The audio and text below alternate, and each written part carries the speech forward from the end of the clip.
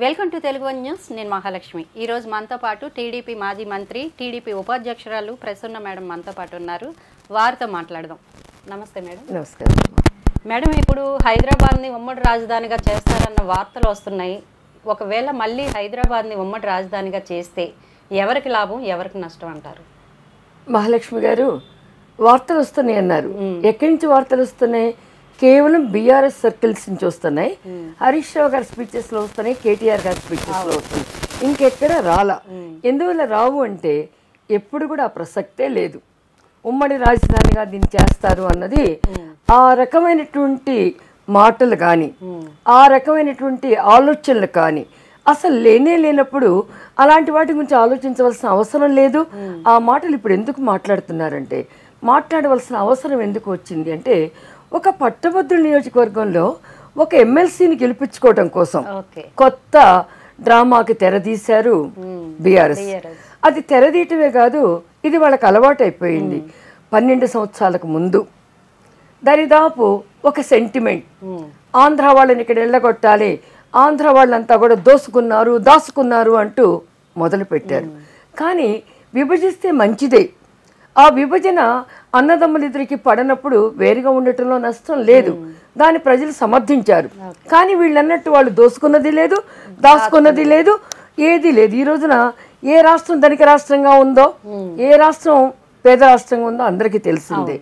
ఇలాంటి సమయంలో ఆ మాటలన్నీ రెచ్చగొట్టి గుంటూరు బిర్యానీ అంటే అది పేడతో సమానమని కర్రీ పాయింట్లు నడిపే వాళ్ళంతా కూడా ఆంధ్ర వాళ్ళు వాళ్ళకి అంతకుమించి ఏమొచ్చని.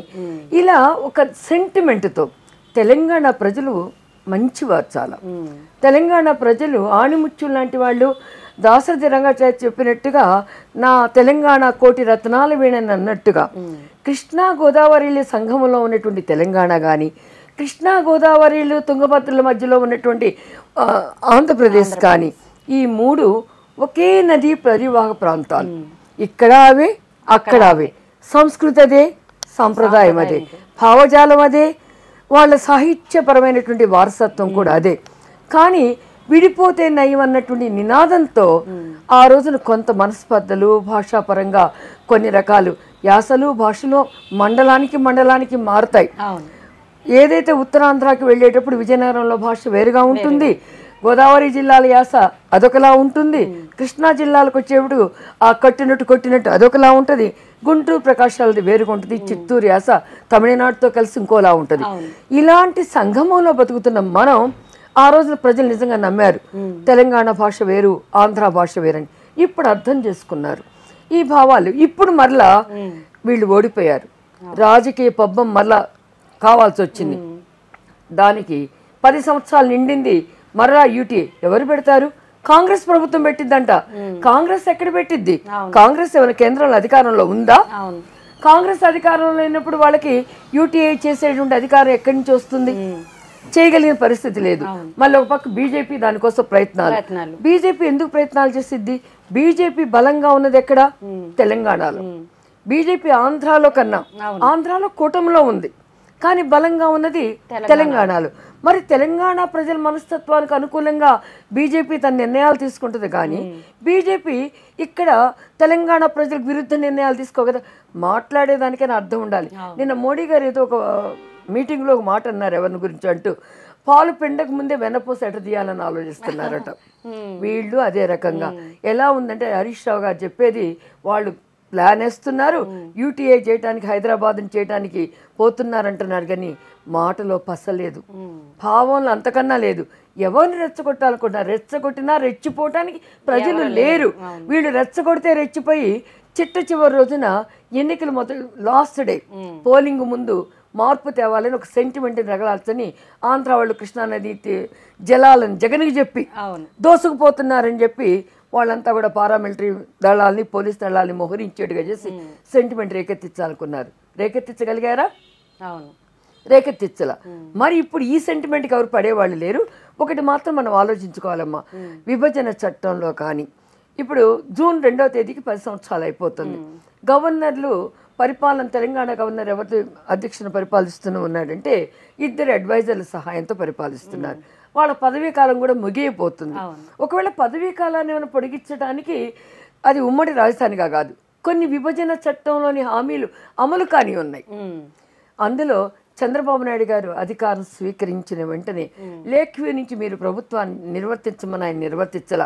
టెంట్ వేసుకొని బస్సులోనైనా కూడా అమరావతికి దగ్గరలో విజయవాడ నుంచి పరిపాలన కొనసాగించారు. ఈ పది సంవత్సరాలే ఉమ్మడి రాజధానిగా వాడుకోనేటువంటి ఆంధ్రప్రదేశ్ని మీరు బూచిని చూపి బెదిరిస్తారా? మా చంద్రబాబు నాయుడు గారు ఆ రోజు వెళ్ళిపోతే ఓటుకు నోటుకు భయపడి పారిపోయాడన్నారు. వీళ్ళకి మాటలు ఏం మాట్లాడుతున్నారో అర్థం కావటం లేదు. ఓటుకు నోటుకో కాదు నా రాజధాని నేను నిర్మించుకుంటాను. ఉమ్మడి రాజధానికి ఉన్న పది సంవత్సరాల తర్వాత నేను ఖాళీ చేయాల్సిందే కదా. ఇప్పుడు లేక్వీ నుంచి నేను ఎందుకు దూరంగా ఆంధ్రప్రదేశ్కి దూరంగా ఎందుకుంటాను? నేను వెళ్ళి విజయవాడలోనో అమరావతిలోనో గుంటూరులోనో పెడతానన్నారు. దానికి సంబంధించి వెళ్ళిపోయారు. ఆ రోజు ఈ నోళ్ళు ఇట్లా మాట్లాడి ఇదే నోళ్ళు ఈ రోజు ఇట్లా మాట్లాడుతున్నాయి. మనం అసలు రాజకీయ నాయకులు మాటకు ఒక చిత్తం చిత్తానికి ఒక గంటకు ఒక నీతి లేకపోతే దేన్నో పులి చూసి నక్క వాత పెట్టుకున్నట్టు నక్కను చూసి ఇట్లాంటి పిచ్చి పిచ్చి రకాలుగా ఆలోచన లేకుండా మతి భ్రమించి మేము ఏం చెప్పినా ఈ పిచ్చి ప్రజలు నమ్ముతారనుకుంటున్నారు. ప్రజలు పిచ్చివాళ్ళు కాదు. చాలా తెలివైన వాళ్ళు ప్రజలు. చాలా ఆలోచన పరులు చాలా సంస్కారవంతులు. నీకు బుద్ధి చెప్పారు. నీ మాటలు గారడిని. నీ మాయ మాటల గారడియే కాదు. మాయ మాటలతో మభ్య పెట్టడం మీకు వెన్నతో పెట్టి విద్య అయితే మామే ఒక అడుగు ఎక్కువ ఆకుంటే రెండు ఆకులు ఎక్కువ చదివానన్నట్టు హరీష్ రావు వెళ్తున్నాడు. వాళ్ళ మీద అన్ని ప్రలోభాలని కట్టిపెట్టి వాళ్ళ మీద వచ్చినటువంటి ఎలిగేషన్స్ని పక్కకు తీసేసి ఒక పక్క మేడి ఏమవుతుందో చూస్తున్నాం. బ్యారేజీలు ఏమవుతున్నాయి? మేడిగడ్డ పిల్లలు కుంగిపోయేది చూస్తున్నాం. ఆ కుంగిపోయిన పిల్లల కింద గుంటలను చూస్తున్నాం. ఇంకొక వైపున ఎటు చూసినా కూడా ఫోన్ ట్యాపింగ్ చూస్తున్నాం. ఇంకొక వైపు కవిత గారి విషయం చూస్తున్నాం. ఇంకొక వైపున వాళ్ళు చేసిన అరాచకాలు మల్లారెడ్డి గారు వీళ్ళంతా కూడా ఆ జీవన్ రెడ్డి వీళ్ళంతా ప్రతి ఎమ్మెల్యే ఎక్కడ స్థలాలు ఆక్రమించుకున్నారో అవి బయటకు వస్తానే చూస్తున్నాం. ఇదంతా మభ్య పెట్టడం కోసం ఏ ప్రభుత్వాలు అధికారంలో ఉన్నాయో వాటికి మచ్చదేయటం కోసం. ఇంకా ఆయన ఎందుకు మా చంద్రబాబుని గురించి ఏడుస్తూ ఉంటారు నాకైతే అర్థం కావట్ల. ఏం అపకారం చేశారు? నువ్వు ఇంట్లో పడుకున్న వాడిని తీసుకొచ్చి తెలుగుదేశం టికెట్ ఇచ్చి నీకు తెలుగుదేశం నిన్న ఒక మంత్రిని చేసి కొన్ని సంవత్సరాల పాటు తెలుగుదేశంలో నీ వాణిని విడిపించేట్టు చేసి నీకు అన్ని విషయాలలో చేయూతనిచ్చి నీకు ఒక చంద్రశేఖరరావు గారిగా ఒక గుర్తింపుని ఒక ఔన్నత్యాన్ని ఇచ్చి మా పార్టీలో కీలక వ్యక్తిగా మార్చి ఆ తర్వాత నీకు డిప్యూటీ స్పీకర్ని కొడిస్తే ఎల్లకాలం నాకే ఈ పదవి కావాలి ఎల్లకాలం నేనే ఇది అనుభవించాలి అన్న స్వార్థంతో ప్రజల యొక్క నాడిని పట్టుకుంటున్నానని చెప్పి రెచ్చగొట్టడమే జయంగా బతికిన నువ్వు. నిజం చెప్పాలంటే నీ వారసత్వం నా వారసత్వం ఒకటే. నువ్వు విజయనగరం నేను గుంటూరు. మనమే ఇక్కడికి వలస వచ్చాం. వీళ్ళని రెచ్చగొట్టి మనం ఇంకేదో అవుతాం అనుకోవడం కరెక్ట్ కాదు. ప్రజల కోసం శ్రమిద్దాం ప్రజల యొక్క మంచిని చొరగొందాం వాళ్ళ అభిప్రాయాలు తేకపోయిద్దాం. కానీ అన్నదమ్ములుగా విడిపోయిన మనం ఒక కుటుంబం వాళ్ళం కాదా? ఒక కుటుంబంలో ఫంక్షన్లకి వాటికి మనం అటెండ్ కావా? కర్మకాండలకు అటెండ్ కావా? ఒక కుటుంబంలోని మంచి వ్యక్తులుగా మెలగవా? రేపు ముఖ్యమంత్రి ప్రమాణ స్వీకారానికి నువ్వు వెళ్ళొద్దా? నేను వెళ్ళొద్దా? ఇవన్నీ పక్కన పెట్టుకొని వైషమ్యాలతో వాణినంట ఎమ్మెల్సీ వాణి. మరి నువ్వు అంతకుముందు డెబ్బై మందిని ఎమ్మెల్సీలు పెట్టావు.